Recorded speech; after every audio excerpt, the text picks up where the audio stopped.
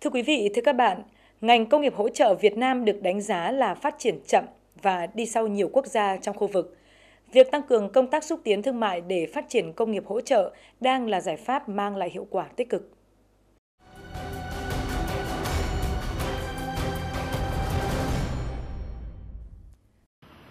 Để phát triển lĩnh vực công nghiệp hỗ trợ thời gian qua, chính phủ đã có nhiều chính sách hỗ trợ cho ngành này như thành lập các khu công nghiệp chuyên sâu để thu hút đầu tư nước ngoài vào phát triển công nghiệp hỗ trợ,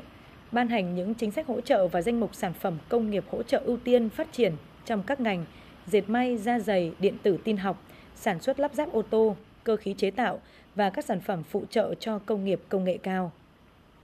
Việc tăng cường công tác xúc tiến đẩy mạnh sự liên kết giữa các doanh nghiệp công nghiệp hỗ trợ với các doanh nghiệp sản xuất đầu cuối, cũng như tổ chức các hoạt động triển lãm công nghiệp chuyên ngành để thúc đẩy công nghiệp hỗ trợ phát triển, hiện đang là giải pháp được nhiều bộ ngành địa phương quan tâm triển khai. Mới đây tại Hà Nội đã diễn ra triển lãm quốc tế về công nghiệp hỗ trợ và chế biến chế tạo Việt Nam Vim Expo 2020. Đây là triển lãm chuyên ngành đầu tiên do Bộ Công Thương tổ chức nhằm cụ thể hóa nghị quyết số 115 của chính phủ về thúc đẩy phát triển ngành công nghiệp hỗ trợ tại Việt Nam, với gần 250 gian hàng của 170 doanh nghiệp tham dự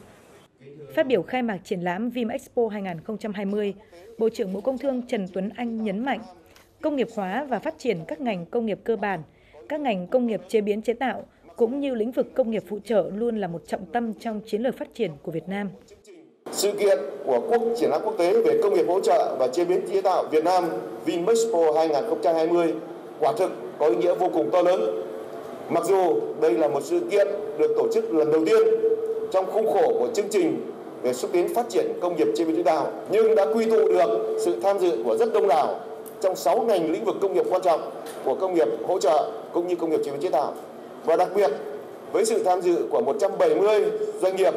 từ các lĩnh vực khác nhau từ nhiều quốc gia thì đây đã, đã tạo nên được cái tiếng vang và đồng thời là một cái cơ hội để tiếp tục quảng bá giới thiệu phát triển về cái ngành kinh tế công nghiệp Việt Nam cũng như cái cơ hội để tiếp tục có sự phối hợp hợp tác giữa Việt Nam với các quốc gia, các nền kinh tế và các đối tác trên thế giới. Chúng tôi đánh giá rất cao sự tham dự của các quý vị đại sứ đại diện cho các quốc gia, các nền kinh tế, các tổ chức quốc tế đã luôn luôn quan tâm và tăng cường cái sự hợp tác với Việt Nam để chúng ta tiếp tục thúc đẩy các cái chuỗi cung ứng mới, tiếp tục thúc đẩy các mối quan hệ và kết nối giữa kinh tế Việt Nam với các nền kinh tế ở khắp các châu lục.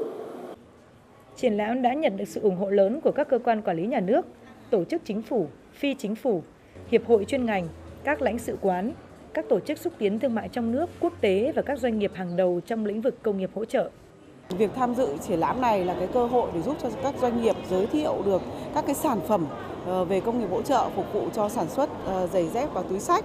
ờ, và cũng thông qua cái hội trợ này thì cái sự kết nối cung cầu ở trong nước nó sẽ giúp cho các doanh nghiệp tiến gần với nhau hơn chúng ta sẽ thay thế được các cái nguồn nhập khẩu cũng như là các cái doanh nghiệp sản xuất công nghiệp hỗ trợ có cơ hội nâng cao cái năng lực để tiệm cận và đáp ứng được các cái tiêu chuẩn để sản xuất các sản phẩm cho xuất khẩu. Trên thực tế, để tạo đà cho công nghiệp hỗ trợ phát triển, một trong những hoạt động quan trọng là tăng cường công tác xúc tiến, đẩy mạnh sự liên kết giữa các doanh nghiệp công nghiệp hỗ trợ với các doanh nghiệp sản xuất đầu cuối, doanh nghiệp có vốn đầu tư nước ngoài FDI thông qua nhiều hình thức như tổ chức kết nối trực tiếp giữa các doanh nghiệp sản xuất công nghiệp và công nghiệp hỗ trợ với các doanh nghiệp FDI, tổ chức các hoạt động xúc tiến thương mại, các hoạt động triển lãm công nghiệp chuyên ngành. Công ty chúng tôi là một trong những công ty mà tiên phong trong cái việc là phát triển các cái sản phẩm à, kinh tế cơ khí để xuất sang các nước uh, như Mỹ, uh, Hàn Quốc và Đan Mạch qua những cái hội trợ triển lãm như thế này thì chúng tôi thấy rằng là nó có mang lại cho công ty chúng tôi ờ, những cái thông tin và quảng bá sản phẩm của chúng tôi, năng lực sản xuất của chúng tôi đi ờ, đến các cái ờ, đơn vị trong và ngoài nước. Trong các ngày diễn ra triển lãm, Cục Công nghiệp Bộ Công Thương đã chủ trì phối hợp với các cơ quan liên quan tổ chức hai hội thảo chuyên ngành về thúc đẩy phát triển công nghiệp hỗ trợ.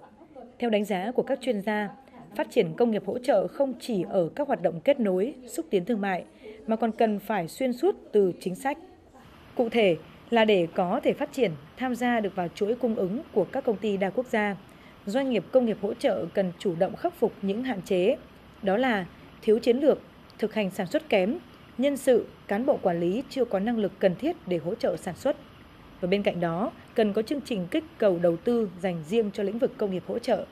Qua đó giúp doanh nghiệp đầu tư đổi mới máy móc thiết bị, khắc phục điểm yếu về công nghệ, kế hoạch sản xuất, quản lý thiết bị, quản lý sản xuất, nâng cao năng lực cạnh tranh để đủ sức tham gia vào chuỗi cung ứng toàn cầu.